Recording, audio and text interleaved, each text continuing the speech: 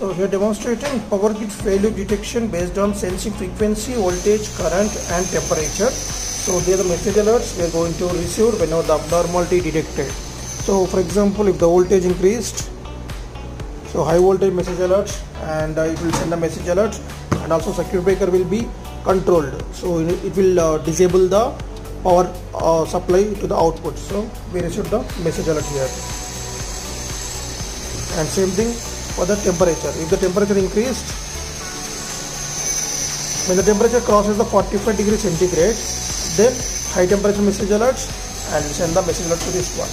So coming to the auto reset, so instead of uh, parameters correction, then instead of doing the auto correction, the manual reset will be there, which is safe for the uh, linemen, those who are repairing at the power grid stations. After checking everything normal conditions, we do the